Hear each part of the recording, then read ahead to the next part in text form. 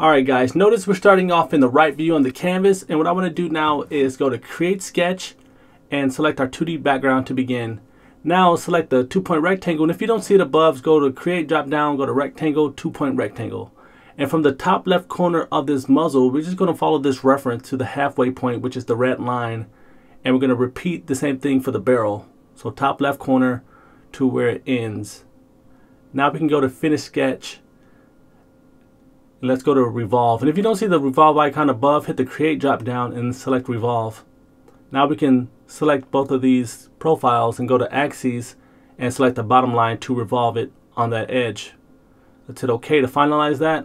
And what I want to do now is go back to the front view so we can start getting some more of these blockouts. So let's go to create sketch, select the plane or the 2D background to begin, and let's use our two point rectangle. In, in dimension guys, we're only doing one half of the model, so don't worry about the left side right now. So from this center line to this bottom corner here, now we're going to switch to the line tool and just follow this reference. And this is real basic shapes, guys, so it's nothing complex just yet. We're just getting these hard shapes. Now we can shift select both of these, right click and go to press pull. Now let's return to the right view and we can drag this blue arrow to follow the reference a bit better. And notice we're only controlling one side. So we're going to change it from one side to two sides and that gives us the option of adjusting the back area as well. Once satisfied, we can hit OK. Now let's create a sketch again on the 2D background or the plane and let's use our two point rectangle tool to start from the bottom right corner of this reference and we're going to go beyond the uh, actual body that we created previously because we're going to chop this later on so it doesn't matter. Now we can select this and right click and press pull. And what I want to do is just select this uh, face here so we can reference the size of it and we don't want it to be the exact same size. We want to have some variation. So we're just going to pull this back and change it from cut to new body. And this is going to make a big difference later on. Now what I want to do is go to modify chamfer and I want to select this bottom edge and this top edge and then turn on our canvas and go back to the right view and now we can adjust this by dragging this blue arrow to match the reference. Let's hit OK to finalize that. Now what we can do is start getting this little ammo cartridge or crate, whatever you want to call it. Let's create a sketch on the 2D plane and let's use our favorite tool, our two point rectangle once again. And from this top left corner, excluding the filleted area, we're just to drag it down to the bottom right. And once satisfied, we're to right click, hit OK. Now we can select this profile and then press pull it. So to see this better, better we're to go to the right view and we're to drag this to the right side, excluding the other half, because we're to mirror this later on. So once satisfied and matches, hit OK. Now we can chamfer off this edge by going to modify chamfer. Now typically you want to chamfer these at the same time, but these edges from the top and bottom are separate, so we're going to only select the bottom edge here, and let's adjust it accordingly. Once satisfied, we're going to right click and go up to repeat the last command, and we're going to select the top edge this time. And just a note, uh, I'm sorry if I'm going too fast or too slow. I'm just trying to accommodate for everyone's skill level right now. And we're going to be moving faster uh, a bit later on. So let's go to create sketch, select our 2D background or plane. And I want to use the two point rectangle once again. And from this top center line, I'm just going to drag it down and to the right to the bottom line here. And what I'm trying to do is, let me grab the line tool. I'm going to uh, follow this reference excluding the filleted corners. Those rounded off edges, I'm going to exclude those because right now they're not important. We just want to get this uh, primitive shape knocked out. And it'll all make sense later on if you guys are new. And for those who do understand, just bear with me. so let's close this out. And we can use these scissors above to trim off the center line so we can select this profile all at once. So let's right click, hit OK, select this profile, then right click, press pull. Now we're going to return to our right view and we're going to drag this blue arrow to the beginning of the reference. And we're also going to switch it from one-sided to two-side and adjust the back. And I want to show you guys uh, two different ways of doing this. So let's change it from cut to new body. And notice how far I brought the back piece back. Now I'm going to turn off the canvas and go to modify draft. And I'm going to rotate so I can see the bottom to select that face. Now select the back face. Going to go back to the right view and turn back on that canvas. So now I can see what I'm doing when I adjust this. You see what it's doing? It's matching that reference. That looks good here. And this is just one way to do it. Let's hit OK to finalize that. So later on, I'll show you a different way to do it. Let's go back to the front view, select this surface, and create a sketch. Now I'm going to use the two-point rectangle tool from the bottom left corner where we left off from the last body, extending beyond the body at the bottom. Let's right click it OK. Let's select this surface, right click, press pull. Now if we return to the right view, we can drag this arrow back and I could stop here and draft it like we did on the other body, but I want to show you guys another way to get the same result. So let's change the operation from cut to new body, hit OK. Now we can select this surface and create a sketch. Let's use our two-point rectangle and copy this reference. And as you guys see, we're going to be using the same things over and over. It's just going to be repetition pretty soon. Let's drag this edge up a bit higher. Now we can select this surface, right click and press pull. Now let's return to the front view so we can see what we're doing. And I just want to bring it to this front edge here, excluding the chamfered edges, those corners. Change it from join to new body and hit OK. Now if we rotate a bit, we can see the edges a bit better. So let's go to modify chamfer, select this top edge and the bottom edge and return to the front view. Now we can see what we're doing as we uh, adjust this modifier. Now let's return back to the right view and on the bodies layer I want to select the last body and control C control V to duplicate that and I want to slide the duplicate over to match the reference. Now I'm going to just rotate a bit to select the side face and I'm going to press pull it to match the body behind it.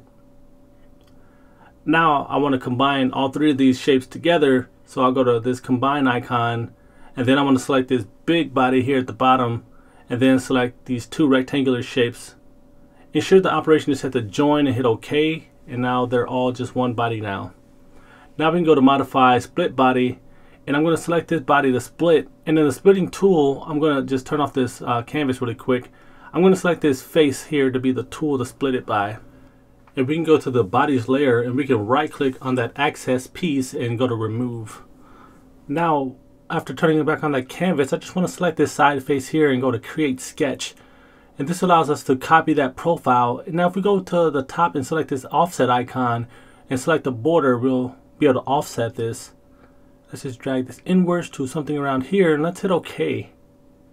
Now we can use our two-point rectangle tool and from the top corner here, we're just going to form a little uh, rectangular shape that intersects with the body on the side here. Now we can right click it OK and we can select both of these shapes so we can press pull it to the opposite rectangle. So just select this face here and it's unjoined so just press OK. Now it's a good time to start getting the base shape of the guard. So let's go to the front view and let's create a sketch on this 2D background. Now what I want to use is the two point rectangle like we've been using and I want to kind of uh, start to get this base shape. So from the center line somewhere around here Let's create a giant rectangle going down to the bottom right corner of the reference. Now we're going to switch to the line tool and from that bottom right corner, let's just go at an angle on the reference to where the um, model starts to bend at an arc. Then we'll go straight up to the top corner here. Now we can go to create arc, three point arc, and we'll just go point to point and we'll just uh, bring this out to have a nice bend. Now let's just clip this line and this line so it leaves us with one giant profile that we can just uh, right click, press pull. And I want to go to the right view so we can get a better look at this reference. And we can pull this uh, to the left. And we're going to pull it to where the fillet is at the bottom left corner. And change from cut to new body. And change it from one side to two sides so we can adjust this back side and we can slide this over to the right a bit more. And we're going to go to this second handle on the reference, like partially through the middle. Now what I want to do is go to modify split body. So I'll just turn off this canvas so we can get a better look at this. Go to modify split body. And I'm just going to rotate so we can see this face of this uh, body in front of us. Select that surface. Now we have something to split it with. Now we hit OK. And we'll just go to the uh, body layer and right click and go to remove to get rid of that excess. Now we'll also go to create sketch and select the 2D background. And I'm gonna use the line tool to kind of uh, start to outline this shape so we can cut it again. And it's actually through the handle, which you can't see from this point of view. So I'm looking at my monitor at my other reference. And let's hit OK, then we can hit finish sketch. Now we'll go to uh, modify split body. I want to split this body and the splitting tool will be that line we just created. Now we'll remove that excess body. Now's a good time to go back to create sketch and select our 2D background. And let's use the two point rectangle tool to kind of uh, draw a rectangular shape of this reference. So from this top right corner, we're going to go through this body here on the left and we're going to right click hit OK and let's press pull this and go to the top view so we can get a better look at this. And we're just going to drag this arrow to match the reference. That looks good. Let's change it from one side to two sides so we can bring the back a little closer. So somewhere about here looks good. And let's change the operation from cut to new body and let's hit OK and return back to our right view. Now what I want to do is go to modify chamfer and I want to just chamfer this top edge as well as the bottom and we'll return back to the right view so we can see this a bit better. Let's just adjust this to match. That looks good. Let's hit OK. Now let's just rotate our canvas slightly so we can select this face and then go to create sketch. Now we'll use the circle diameter circle tool here to uh, click once in the center point of the circle and drag outwards to create that giant circular shape. And we'll do the same at the top. So from the center, click once and drag out and click again to finalize.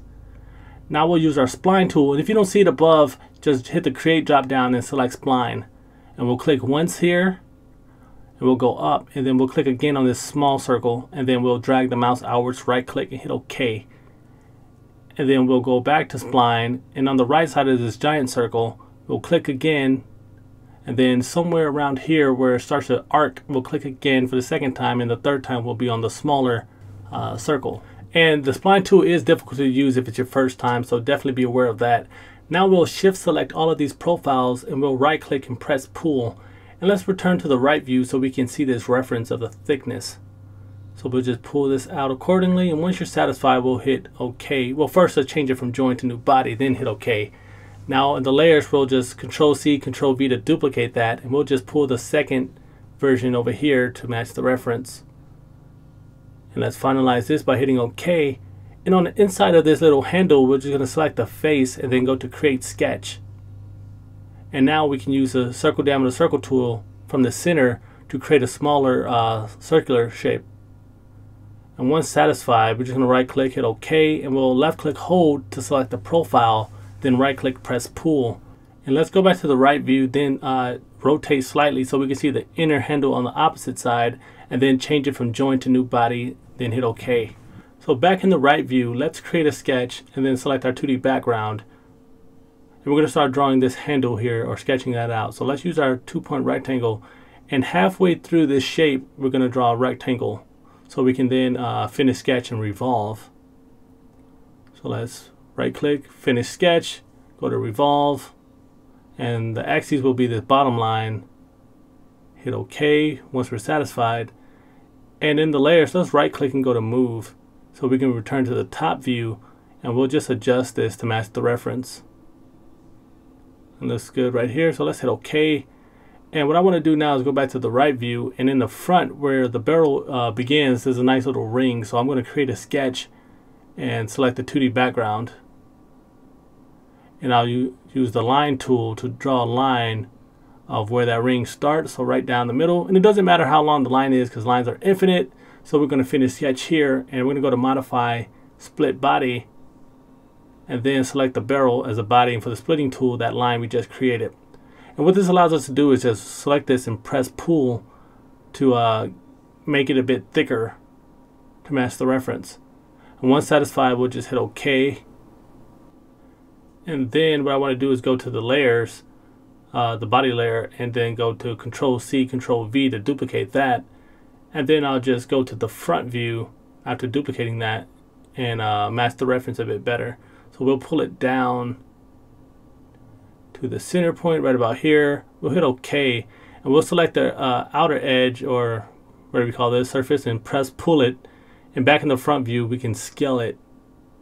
We'll downscale this to match the reference and that looks good so we'll hit OK to finalize that. Alright so back in the right view let's start working on this leg here on the biped. So let's create a sketch and select the 2D background. And also guys, to mention, I'm expecting you guys to pick up some of this information, so I'm not going to be annotating uh, so much here in the uh, next couple of videos. I'm expecting you guys to remember it. And a lot of you guys already know how to model anyway, so it's just for mostly for the new guys who are new to parametric modeling and Fusion 360. So this line I'm using right now is just going to be the rotation line. I'm just using this as a place to revolve this once I'm done using this rectangular tool here to uh, shape out the inner area. Now I'm going to switch back to the line tool and start outlining this. And don't forget guys, I'm just doing the, the, the block out right now. So the basic shapes, that's all I'm worried about right now. No detail. I know you guys are hungry and want to get in there. So just remember that. So now we can go to create revolve and then start revolving all three of these bodies or profiles to create one body. I'm going to hit OK. Now let's go back to the front view and let's right click and move this. And I want to move this to match the reference. So hopefully I didn't go too slow for you experts and I didn't go too quick for you guys who are new to parametric modeling inside of Fusion 360. Try to find a happy medium between both. So let me know what you guys think in the comments. Please give the video a like, comment, share. And uh, we made a lot of progress, believe it or not. I know you guys can't see it because we're just on the blockout shapes, but uh, we got more to come. Catch you guys next week.